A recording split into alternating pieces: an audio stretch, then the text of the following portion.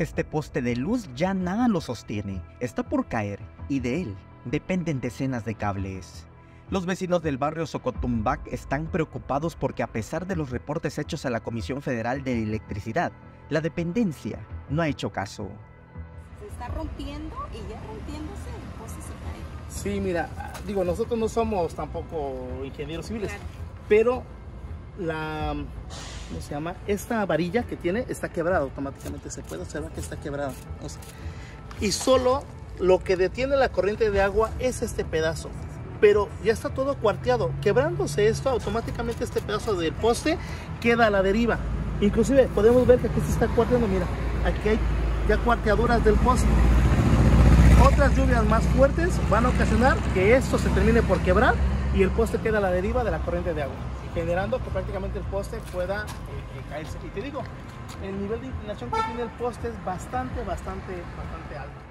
Fue hace aproximadamente dos meses cuando un camión se impactó con este poste y lo dejó apostillado. Hace un mes llegó CFE, pero lo único que hizo fue podar los árboles que están a los costados. También llegó protección civil, pero únicamente puso cintas de precaución.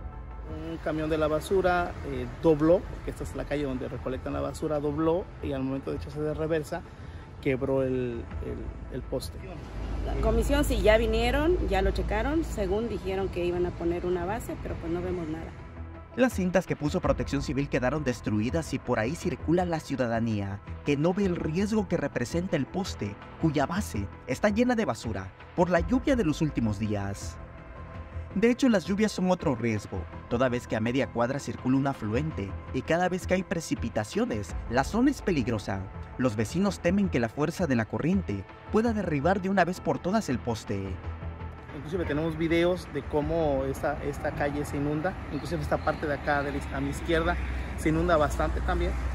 Y aquí prácticamente el temor es de qué pasa con las siguientes lluvias. Se supone que lo que queríamos es que viniera Comisión Federal antes de que empezaran las lluvias, porque sabemos que esta calle se inunda y corre, o sea, tiene un caudal muy fuerte de agua.